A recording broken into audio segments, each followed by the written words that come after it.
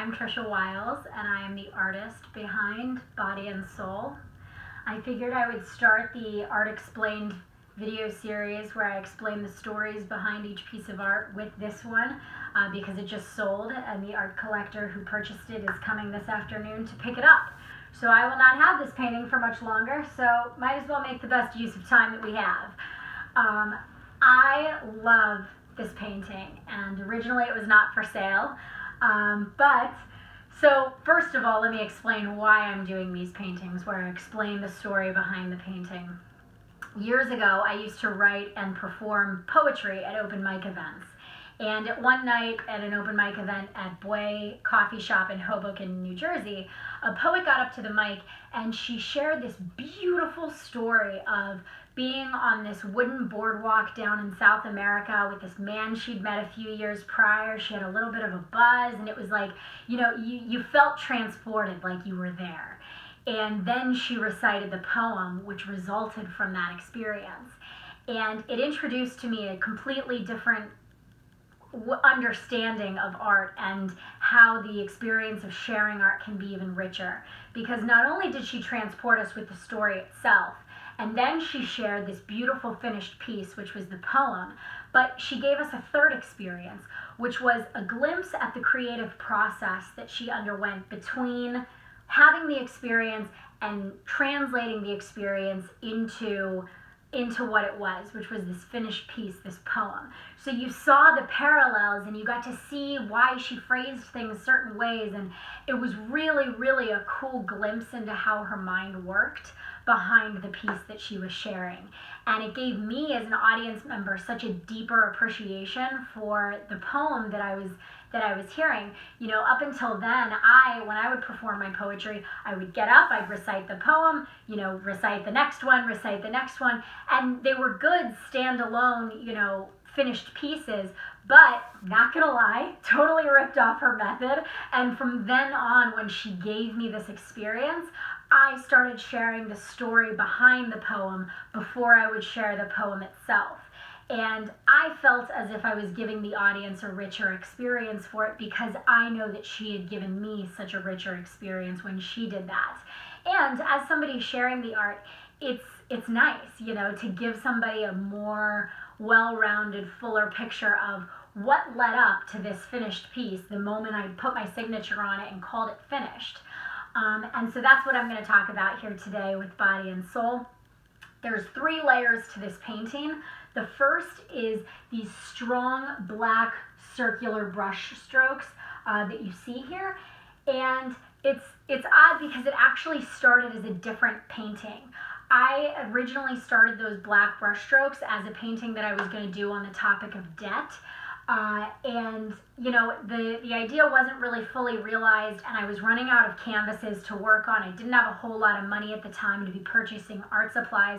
And so i figured you know what? I wanted it to be this thing but i need it to be something else so i'm going to table the original idea for this and maybe come back to it at a later date. But i need this canvas to start working on another painting.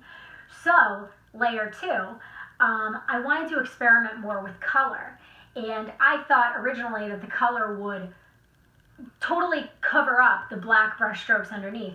It didn't really work that way, but I'm happy it didn't because I love that the black is peeking through all these other these other two top layers.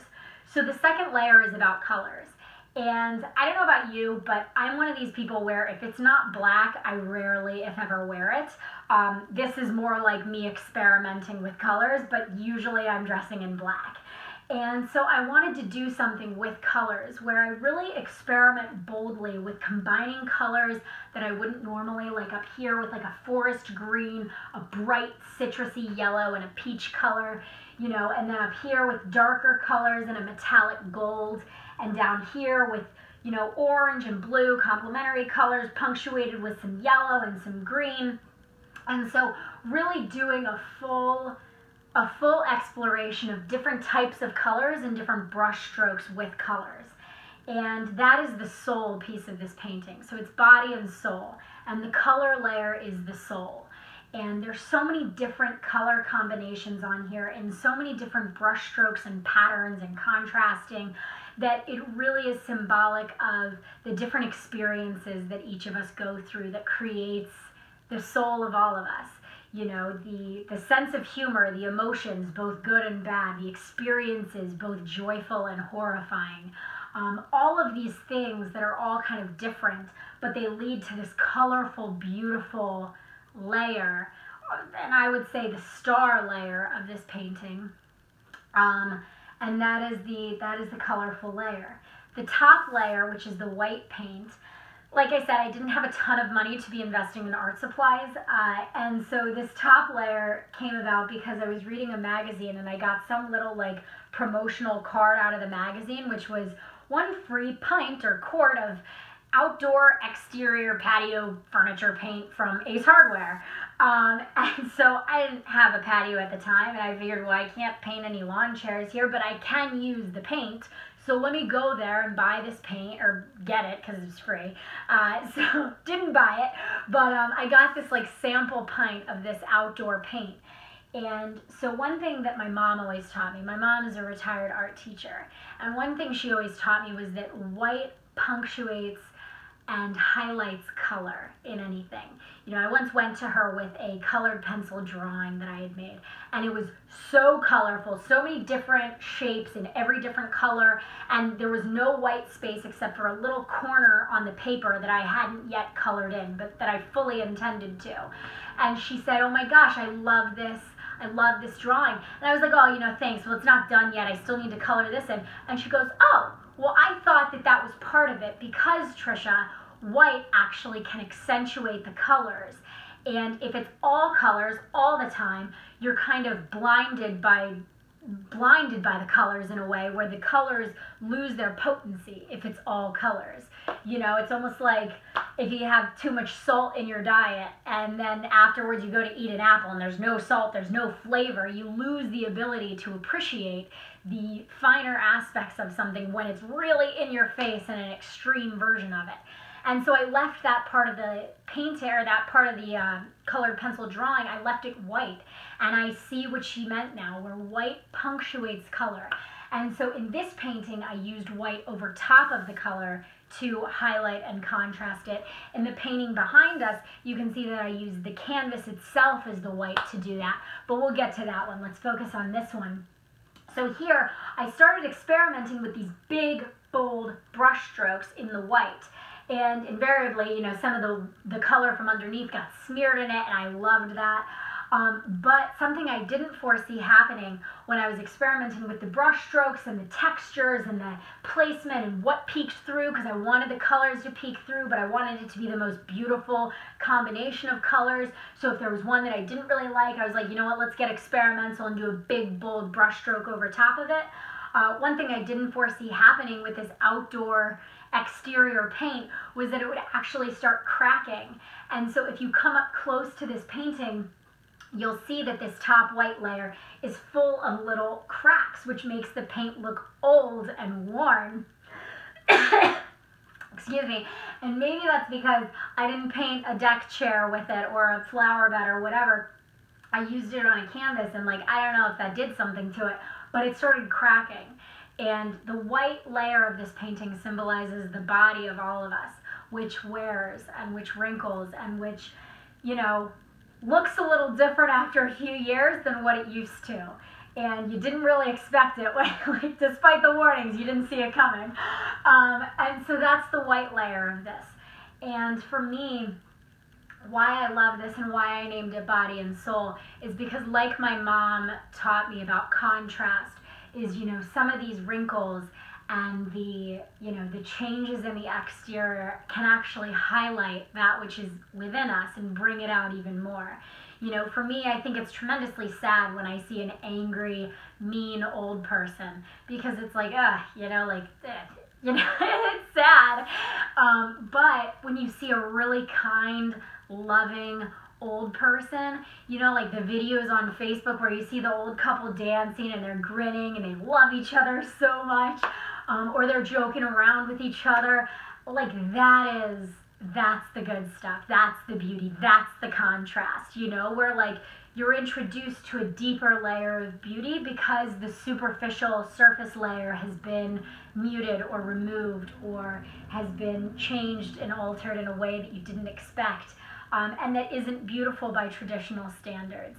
You know, initially I looked at these cracks and oh my god, like my painting's cracking, it's losing its value. And then and then it's like no, it adds a deeper value because there's a deeper meaning behind it. Um, and so when I look at this painting, I think of the journey that all of us make uh, between this negotiation between the exterior and the interior, and I see that the beauty is is the soul. You know, it's it's being of service to other people. It's making people laugh. It's not taking yourself too seriously. It's being selfless. You know, doing things that we don't want to do because it would benefit somebody else instead of it benefiting ourselves.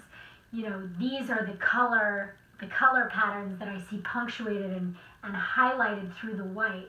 Um, and I think that those colors grow richer over time and that the that beauty within us, which is the love and the service and you know the honesty and the humor, uh, I hope also becomes more saturated over time because it's like ultimately through the years we have more experiences, both good and bad, both joyful and horrifying, that you know lends itself for a richer symphony of of that which makes up our souls.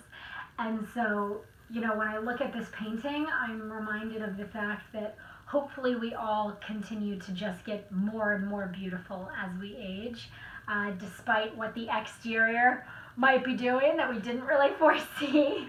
Um, and that in, in that way, you know, like my mom taught me the white emphasizing the color, you know, the scars and the wrinkles and, you know, limitations physically that, that happen to us as we age uh, let it emphasize that color and the creativity and the magic and the art and the soul beneath. Um, you know, I think I think anything can be a person's art if you love doing it and you go into it with a with a certain consciousness uh, where you you're mindful of what you're bringing to the table and what you're bringing to life that you don't necessarily see represented in this world. And I hope that everybody watching this video finds that in their own life. And I hope that you've enjoyed hearing the story behind Body and Soul. I hope if you haven't found your art form yet, whether it's gardening, painting, music, running a business, running a home, whatever it may be, I hope you find your art, which uh, gives you one of these joyful experiences, which makes your soul all the richer. If you like this video, uh, I hope you'll like it and share it and subscribe to the channel. And if you don't, well, then keep your words to yourself and don't comment on it because it's not very nice. Um, I don't care. You can comment if you want. Um, but so that is body and soul, and I hope that you've enjoyed learning about it as much as I have enjoyed telling you about it. And uh, I'd like to dedicate this video to that poet. I forget her name.